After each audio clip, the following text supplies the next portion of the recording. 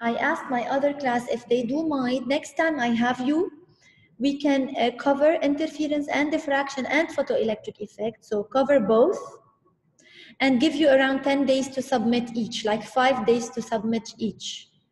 So we would be done in 10 days.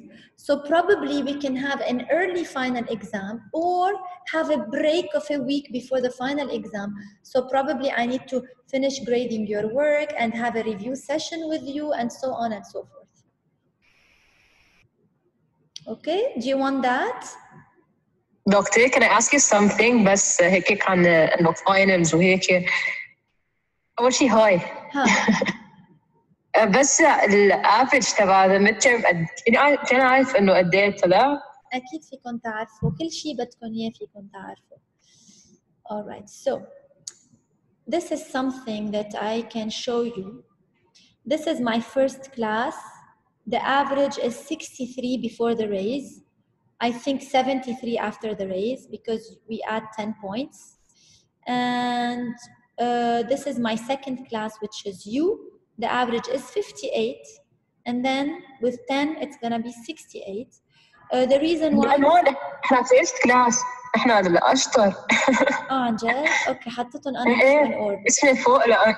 okay so الفكرة هي that uh, we added 10 points only because we have I think many students with 100% after the race so the students who hit 100% are the students who limited us otherwise I would easily give you a 20% مشان هيك أنا ماني مبسوطة بالريز مشان هيك we said let's lower the percentage of the midterm and I'm ready to cancel the midterm if you end up doing well and I'm gonna push for that so for the students بس ما فيني أظلم الناس اللي عاملين منيح I would say for the students who would do better in the final exam I'm ready to cancel the midterm but I cannot officially state this as a statement yet until we see how things will go Okay, so for the students who did not well, I'm ready to push you as much as possible. Look at Carl, for example, he has 91%. Okay, uh, I can show you some students. This is 96% in my class. In other classes, but I'm not, uh, I don't have the right to show you other classes. I have one of the classes, they have two students having 100%. So you see, those are limiting us in a way. But since the average is not great, we can easily ask for more by changing the percentages. Okay? So, shall we start with lab seven a bit? So what we have here is, I want to show you quickly lab seven. Uh, let me go a bit to the previous class I have, what I did for them, and I'm doing the same thing for you after class, hopefully in the evening. I uploaded for them lab 7. You know lab 7 was empty, you only had the PowerPoint and the recorded session. I added the experiment to the video of the experiment and the results for the lab report and the assignment to submit. And for lab 8, we did the PowerPoint, we recorded the session and the experiment and the results and submit. So hopefully I can do that with you by the end of today. All right? So, are we ready to uh, check for lab 7? So today I'm gonna cover lab 7 and 8. 7, uh, 7 is already done. This is lab 7. I just want us to go over the experiment quickly and start lab 8, which is the continuation of lab 7, the experiment and what you need to do. Yes, do you want to do that? Please speak up. Because otherwise I would think I'm disconnected. Yes, Doctor, yes. All right, let me fetch the video of experiment, the lab. So optics one, I'm gonna fast forward as you know, because you can watch it later. All right, so you are given a piece of metal that is super reflective. I'm gonna use this as a mirror. You have the flat surface of the mirror, the concave surface of the mirror, and the convex surface of the mirror. I'm gonna use it, explain what it is, uh, show you the ray box. This is called a ray box. As I rotate the opening of the ray box, I can have a beam of one ray, a beam of three different colors, a beam of five rays that are supposedly parallel and you can see the error in here. And I can have a beam of three rays. Do you see the three rays? As I move my hand a bit, let me move, yeah, it doesn't show, you see the three rays? And a beam of one ray. And then I uh, get the flat mirror and you can see the incident ray, the reflected ray. You can, with a pen, you can easily get a pen and draw the surface of the mirror, locate your incident ray, locate your reflected ray, then you remove the ray. By the way, I'm doing that in complete darkness. This is your mirror, so I can easily draw the incident ray, the reflected ray, show the arrows, they are important, show the mirror, then draw the normal to the mirror to be able to measure the angle of incidence and angle of reflection. Okay, so using a simple protractor. And then I can repeat the experiment for different angles. You see, I'm rotating my mirror because I want different angles. Yes, so that's it for the first part of the experiment. Now for the second part of the, um, also they want you to answer a question that is, what happens if you have three different colors? The order of the colors, does it change? And the angle, does it change? So please use the video to be able to observe and answer this question. So everything observable should be taken from the video. Everything measured should be taken from the measurements provided for you in the lab report. Now I want us to move to three rays and instead of the flat mirror, I'm gonna use the concave mirror. And you're gonna see that a cylindrical beam will be reflected, it will become a converging beam. And you see that the rays actually meet at this point. This is not the focal point, it's the secondary focal point. You want the primary focal point. To reach the primary focal point, you just need to make sure that the mirror is perpendicular to the rays. So in this way, like this, not like this, like this, just perpendicular. So, and then try to locate the focal point. If you cannot locate the focal point, locate an area of intersection and find the midpoint of it, assuming it's the focal point. So I'm gonna say this is where my focal point is. Also, it's important to draw the surface of the mirror to be able to measure the distance between F, the focal point, and the surface of the mirror in a regular ruler in centimeters, two decimals, or the smallest subdivision divided by two is your uncertainty. Then I'm gonna take the surface of the mirror and try to slide it parallel to itself. My job is to find the radius of curvature.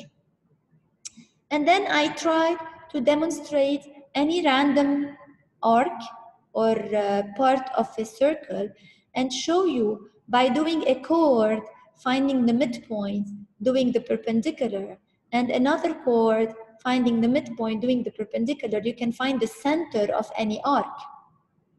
Okay? By finding the center, you can easily measure the radius because you are required to find the focal length and the radius of the mirror and compare them. Okay? So I can do this and that, find the center, find the radius, and then compare. A new paper now to be able to see what happens, I think dispersion. No, not yet, or is it, yes, dispersion. I'm gonna take my, uh, what do we call it?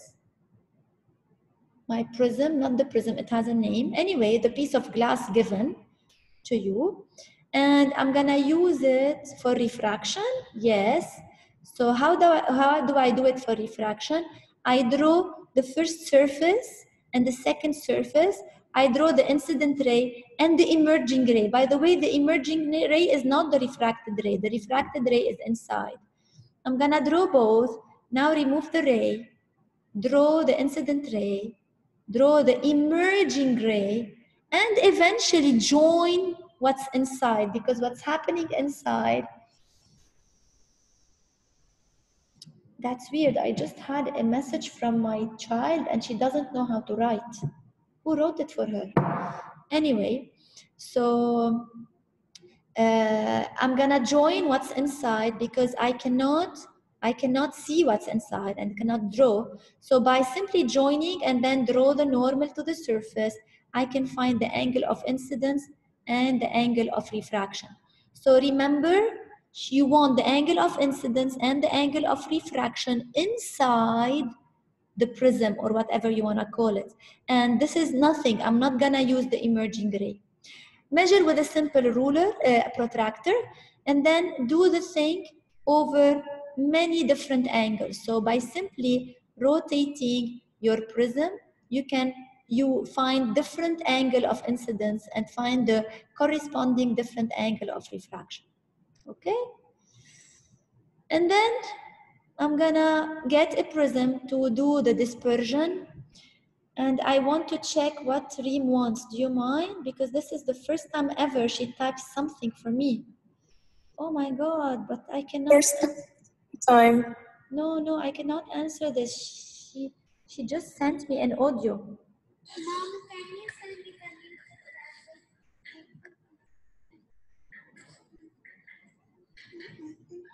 Ya Allah, she wants me to send her the music that says mm, mm, mm, mm. ما بقدر افهم هيك. I need to call her later, but I hope it's not for school and it's not urgent. Anyway, I have this prism and I'm using the tip of the prism, you know, to be able to separate white light to different colors. Okay? So I'm gonna rotate it until the ray is basically touching the surface. And I don't know if you see it on my thumb. I actually see it very well, but probably not using the camera of my phone. I can see red and yellow now, but in the lab, I could see green as well. Okay? And so just observe the video and write what you see on the video. And if I can continue, and I'm, I'm trying to tilt the paper a bit, you can see a bit of green in here. Okay? So just answer the question. Now green is, green is basically visible. Answer the questions by observing the video, all right? So you can see red, obviously, yellow a bit, and green is not really obvious. So they will ask you the order of the rays and which one disappears first and so on and so forth, you can tell from the video. Eventually, they ask you what happens if you are given three different colors and what happens to the order of the rays and the angle of the different rays. And you can also do that. Now for the, you have to do the total internal reflection. So I'm gonna get the prism again. And this is the incident ray. This is the refracted ray, like the emerging. I'm gonna rotate my prism in such a way that the emerging ray is gonna disappear. And to be precise, I don't want it to disappear. I want it to reach exactly grazing the surface of this, the, this, you know? So I'm gonna move this a bit, okay? And keep on rotating it until the emerging ray just grazes the surface and you can barely see a very faint light. You see there's a red faint light I'm gonna say the angle of incidence is equal to the critical angle, like equal, not more, not less, because I still have a very faint red ray that is grazing the surface. Now I'm gonna draw the prism and draw, I'm drawing the prism with a pen, then draw the points of the emerging ray and the point uh, of incidence and the point here where the thing is happening because I can see a white, all right? So I need those three points to be able to draw what's inside the prism. Using a regular ruler, I can draw. So this is the incident ray, this is the reflected ray, and the refracted ray is grazing the surface. So I can easily draw the normal and measure the angle of incidence and measure the angle of reflection. And I can say that this is theta critical and this is theta critical because the incident angle is theta critical and the reflected angle is theta critical. So the whole thing is 2 times theta critical to be able to measure theta critical. And I did the measurements for you, wrote them down in the lab report and sent you a copy of my lab report. Okay, so here I'm gonna show you, I want you to focus on the reflected ray. It's very faint. As I rotate my prism, the reflected ray is gonna have a better brightness. So you see the brightness is increasing as I'm rotating the prism. And this is the brightness you can have, the brightest you can have. So this is faint, and this is bright. And as the refracted ray disappears, the reflected ray became, becomes very bright. And this is the point of me rotating the prism to be able to observe incident, refracted, and reflected. And again, this is the surface of separation I need to discuss. So when I say incident, it's incident to this surface, reflected, reflected to this surface, and refracted is refracted from this surface. So ignore the first and the last one because nothing is happening on those surfaces, okay? So that's for lab seven. I will definitely share the link with you and you're gonna take your time to watch the video later on. And now that you have the lab report with results, most probably you can do the lab report in one shot. I remember on the PowerPoint of lab seven, I wrote due date to be on Wednesday. And then the first section asked the due date to be on Thursday. So you guys do whatever you want. Make sure you submit before Thursday, okay?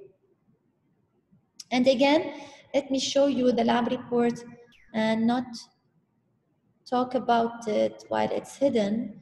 So basically you have nothing to do. All the results are given to you. You just have to answer some questions. And I suppose you can do it easily. Yes, this Thursday. So I wanted you initially to present this on Wednesday and they asked for one extra day. So results given to you, answer two questions. Results given to you, answer two questions. Results given to you, find n and the average, answer one question. It's not like you have to plot or do anything. It's over, that's it. So I think if you do it now, you can finish it in 20 minutes.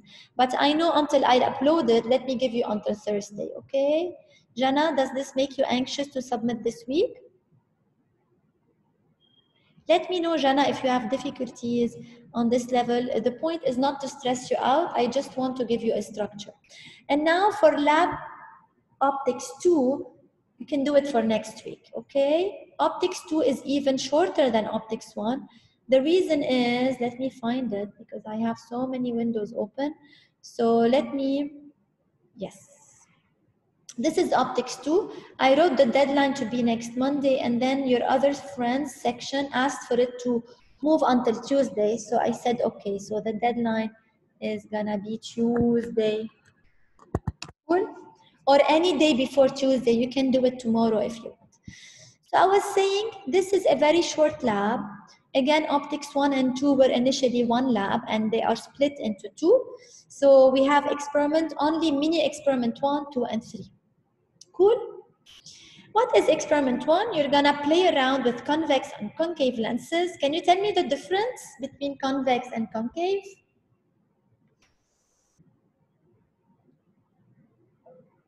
Convex is converging, Yes. and concave, concave diverging. Okay. And what's the difference? Can you tell the difference by looking at them? The, you know, the, the convex, you know, I can't really draw it, يعني I can, I can visualize it.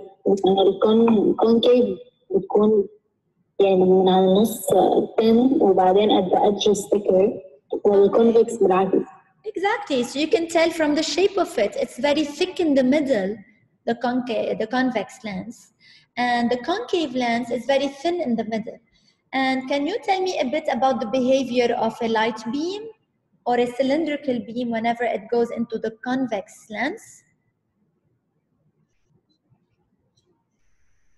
Yes, so the behavior or anybody else can tell me about the behavior of a light beam whenever it goes into the convex lens. So this is a convex lens. And let's say we have a cylindrical beam. What happens to this beam? Does it continue undeviated? Does it emerge uh, uh, diverging or converging? Anyone? Yes? can I speak? Yes, of course, you can say. Uh, it continues passing by the focal point, right? Okay, which means it converges. It converges. exactly to the focal point. So if I move to this slide and move away the chat box, I can see this to be the converging action of a con convex lens. And this is the diverging action of a concave lens. And I know in the course you call them convex and concave, although in some other books they call them converging and diverging.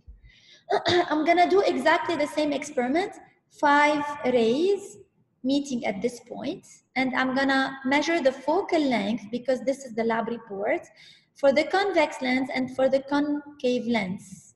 All right? Be careful when you measure the focal length, you're supposed to measure from the focal point to the center of the lens, not to the surface of the lens. Because while I was doing the experiment, I was measuring to the surface of the lens, and then I noticed no, it has to reach point O. Uh, this is the video. If we can uh, watch the video in parallel with our presentation. So you can see that I used a beam made of three rays. This is the con convex lens, and this is the concave lens. For the convex lens, I placed it on the paper, and you can see that a parallel beam will actually converge. And the focal point, I couldn't tell where it is. So I know the region where the rays actually meet and the midpoint would be my estimation of the focal point. And then it's very important, you see here I drew the lens, the drawing of the lens, it's not very visible. So now I should measure not to the surface, you see the mistake Jessy did, but to the center. Honey, I fixed the mistake. All right, it's very important to measure the focal length from the focal point to the center. And then I repeated the same exact experiment showing that those rays do not actually meet. I'm supposed to make them meet on the other uh, side of the lens to find the focal point. Did, they, did I actually do it? Yes, I did. I also explained that the fact of elongating the rays actually is an estimation and a lot of human error could be involved in here. And I showed you that the three rays are supposedly, should supposedly meet at one point, and in my case, they did not. But now looking at the video, I can see that I have a tiny deviation in here. So probably I should have elongated this in a better way. But anyway, if the meeting point is not exact, you can take the average or the midpoint, okay? And I think this is what I did. I, take, I took the midpoint, it doesn't show. Bala, it shows. And now measure the focal length from the midpoint to the surface of the lens. By the way, after uh, recording the video, I tried it again to show you, uh, to do an actual good, better measurement to be able to give you a reasonable focal length to do the uh, calculations, okay?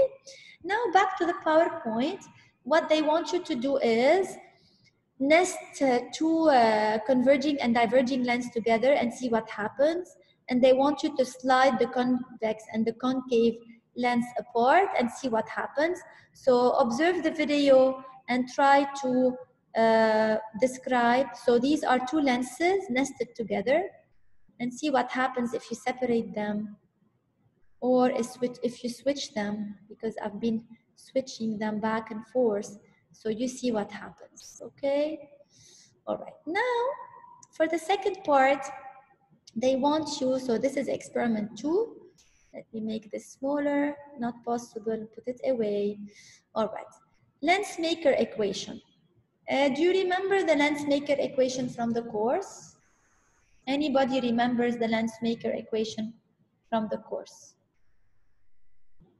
Yes? Okay, Jana, that's good because in the other section they don't remember it. Uh, this Lensmaker equation is interesting because you need it for MCAT. I saw it for, for on many uh, multiple choice questions. What is it basically? It's an experimental equation and it's an empirical equation. Like we got this equation out of experiment. That's why you can see it's an approximation. All right. F is the focal length of the whole lens. And remember the lens is made of surface one, surface two, and the material in between. So surface, the material in between, this is n, the index of refraction of the material or is the radius of curvature of the first surface. R2 is the radius of curvature of the second surface. Now my question for you is, how do you find the radius of curvature of a certain surface? Can you please speak up?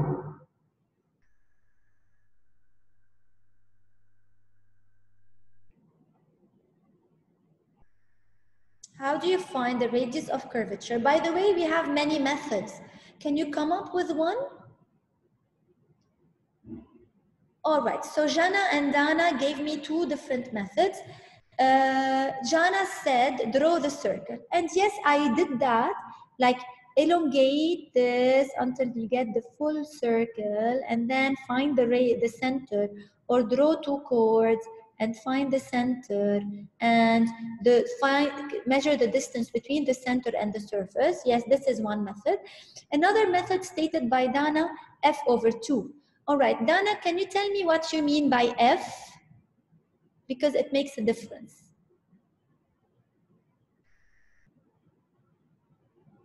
And yes, you have a point, Dana, but what do you mean by f? Focal length. Focal length of who? Of the lens?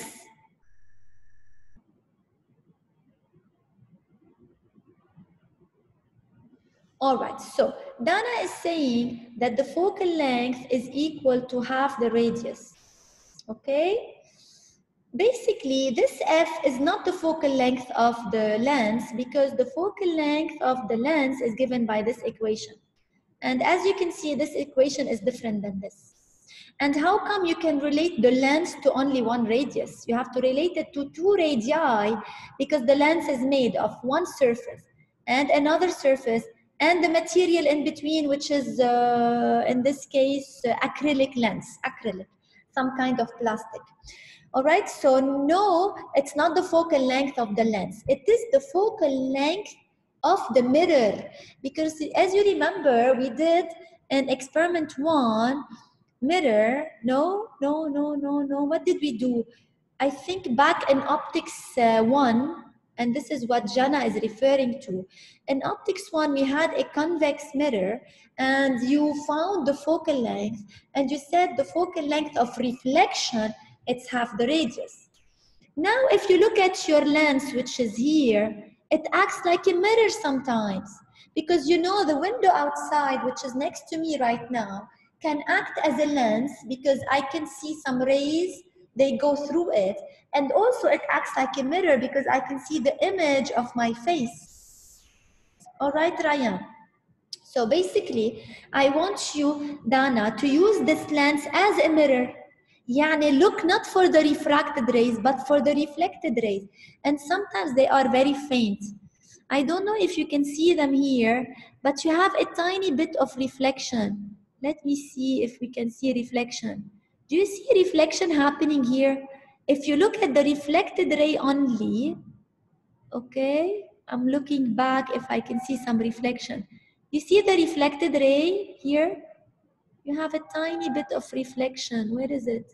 You see the reflected, not the refracted, the one reflected. If you can focus on it and find the focal point, this is F we're looking for. تخيل هون ببين كتير. But I need to turn it a bit. منا مبينة. Okay? So yes, what I was uh, telling Dana, uh, if you look for the, refract, the reflected ray, FR, it will be equal to half the radius. Okay, so find the radius any method you want.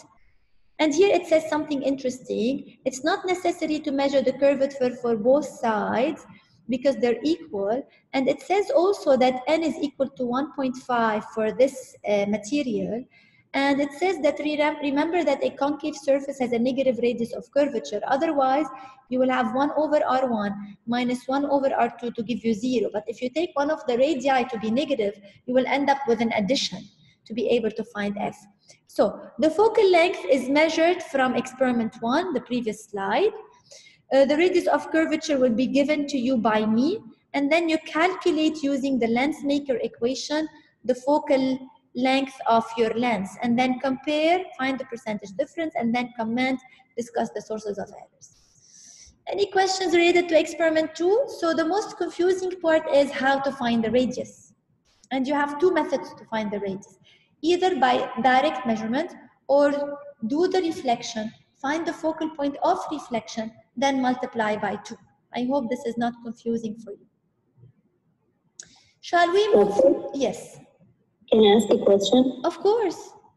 Uh, how, how do we assign uh, R1, R2 positive, negative? All right, good question. And uh, okay, this is a concave mirror. right? Am I right? Yes, I'm right. Yes, the other one is convex. So which means this will be taken as concave, يعني negative, and this will be taken as convex, يعني positive. Okay?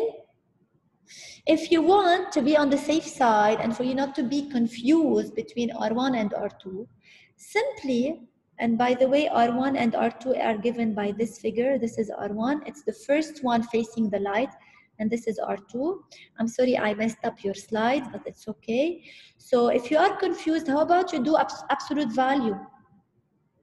In other words, uh, do the addition and take the values of R1 and R2 similar. So you'll end up with 2 over R. And F, it will be absolute value, all right? And I think they will only do the calculation for a concave lens distance. Uh, Doctor, the, the course we put in uh, the side where the light is coming from, this is the negative R. Yes. Is Yes. that, is that correct? Say it again because uh, I can't hear you well. The side where the light is coming from, this is the negative R. Exactly. Which Oh, means R1, yeah, which means R1 is gonna be negative and R2 is gonna be positive. So you'll end up with a negative value. So F is gonna be negative.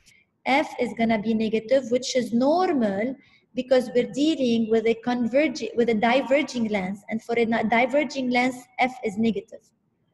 Okay? Okay, thank you. So what Sana said, Jana said, she said that R1 is negative and R2 is positive. I'm talking about this example. Okay, so R1 is the first surface, it's a concave surface. R2 is the second surface, it's a convex surface, so it's positive. If you do the calculation, you end up with F negative, which is normal. Okay? Yes.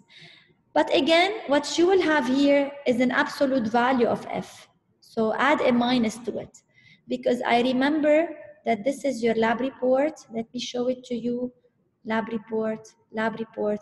And I wrote the values, the measurements only. So just a second because I just closed it. So I wrote the focal length and absolute value. So feel free to add any minus sign you want. Can we do absolute value and if convex we keep it positive but concave negative? Anthony, if you want, do them all absolute value, but don't do R minus R because you will end up with a zero. This is the only thing that would really, that would worry me. So do it all absolute value if you want for the sake of the experiment, but not later on in the course because in the course you have to be careful with this. But make sure you don't like if one is negative, the other is positive, you end up with an addition, if you know what I mean, Anthony. Okay? So I'm sorry I confused you. This is supposedly very simple. I need to move for experiment three, if you allow me to. Do you have any questions before I move to experiment three?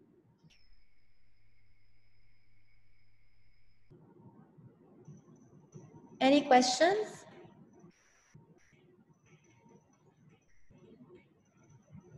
Before we move to experiment three, please speak up.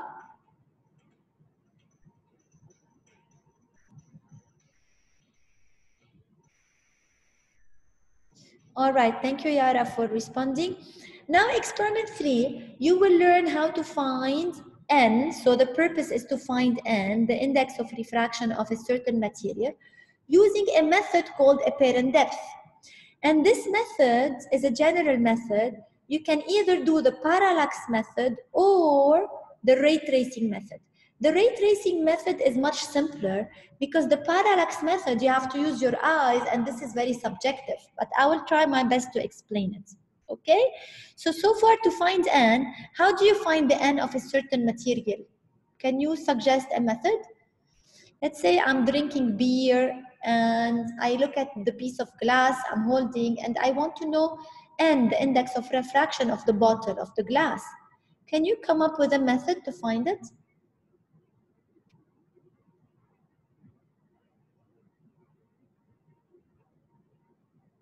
I need you to speak up and to give me a method to find and the experimental method.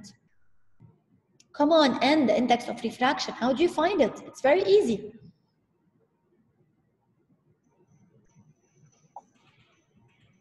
Can can we uh, maybe um, put an ray of light incident onto the glass and then uh, measure you know, the, the angle of ref- refraction.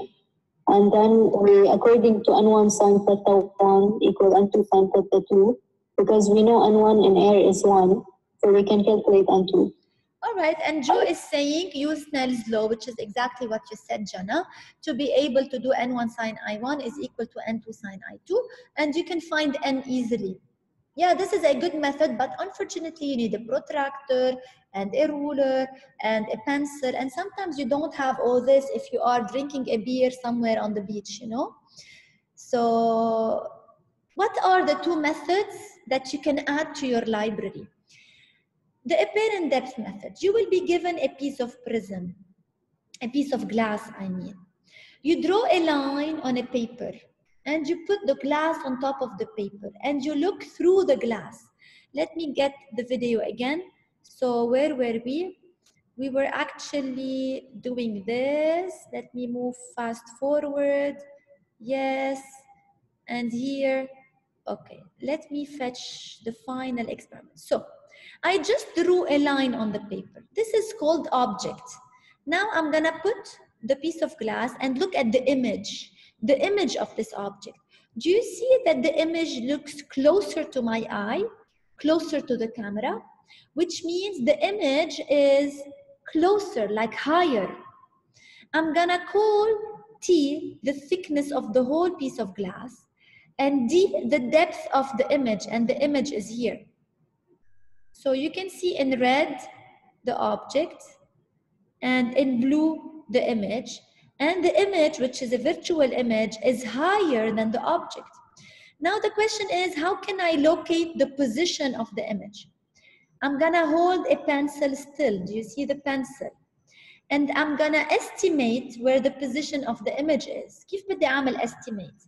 I'm gonna look through this picture and put a pencil and you can see me doing the experiment myself. This is a pen that is super sharp.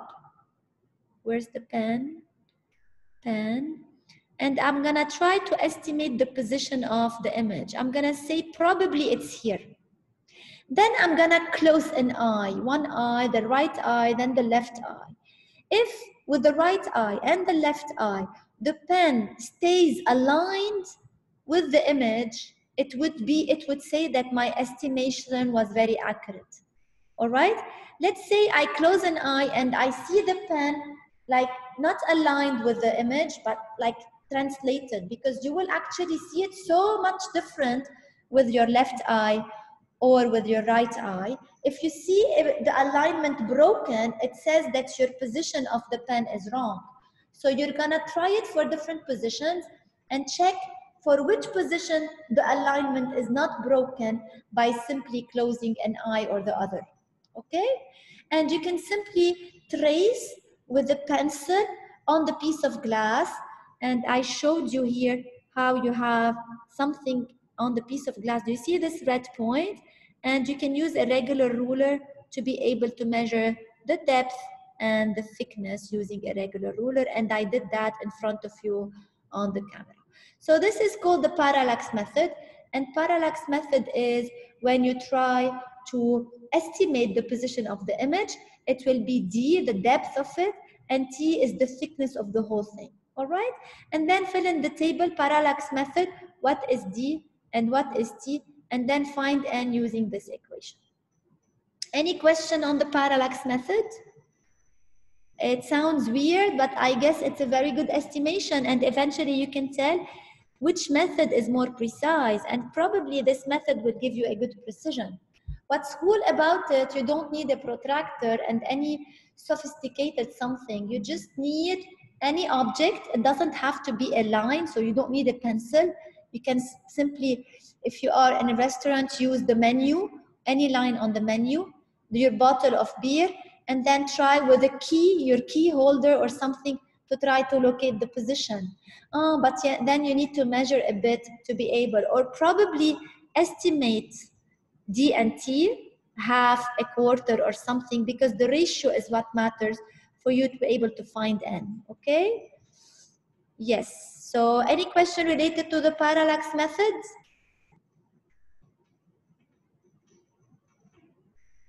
Yes? Please speak up, otherwise I would think I'm disconnected. All right, thank you, Anthony, for responding. Now, for the ray tracing method, it's very simple. You just have to follow the recipe. What is the recipe? You have five rays in here. You block three because you want two rays that are far away. You block them with anything. It could be an eraser. I used a mirror or anything to block the ray. Then you put a convex lens because you want your parallel beam to become a converging beam. Now the converging beam will meet at point F, the focal point. Put your piece of glass at the point of intersection and observe the emerging rays. The emerging rays will be deviated just a bit and if you elongate them, the meeting point will be here. So I'm gonna say with purple, this is the meeting point and in green, this is the image of the meeting point. And you can see you have some deviation. So T is gonna be the thickness of the whole thing and D is gonna be the depth of the image of the point of intersection, the real point of intersection. Very easy to do and you can see it on the video. Uh, I actually did it a few minutes ago. So I'm gonna go backwards. So this is a beam of five rays. I used a mirror to block three rays. I have two parallel rays far away, conver uh, converging lens. The rays actually meet at this point. Now I'm gonna approach the rhombus or whatever you wanna call it to be at just touching the intersection. Okay, at the intersection, I'm gonna draw the piece of glass, draw the emerging rays, then I'm gonna remove it and connect those rays and find the point of intersection. And you see the point of intersection that was supposedly here has moved to this point. Okay? And you can easily measure D and T. Okay? So here I'm showing you that those rays were actually deviated because of refraction and this ray was actually deviated because of refraction and both rays are getting closer to each other. That's why if you elongate them, you get to this point. Okay. Yes. So that's it for this uh, method. And I can see it's easy and probably more precise because you don't need to estimate stuff. It's only the elongation of the ray that would be somehow critical. Otherwise, uh, you have no issue whatsoever. So I'm gonna use this method to find D and to find T and to find N again. So I'm gonna use the, this method and this method. So you will have two different values for N. You can compare it to the actual N of acrylic. You are given three significant figure and tell which one is closer. So discuss precision and accuracy through this method. And you can see this lab is even uh, smaller than the other lab. And now that the measurements are given to you, you can do it in 15 minutes.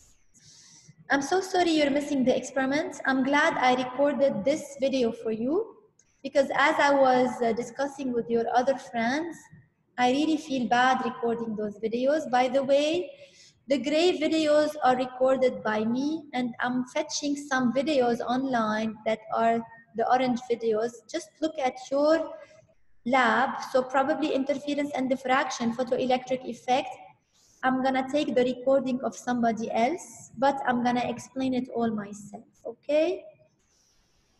I find I found a very nice and easy video to follow done in Beirut and the equipment are very similar. So I'm gonna use that while explaining how to fill in the lab report and explaining the theory.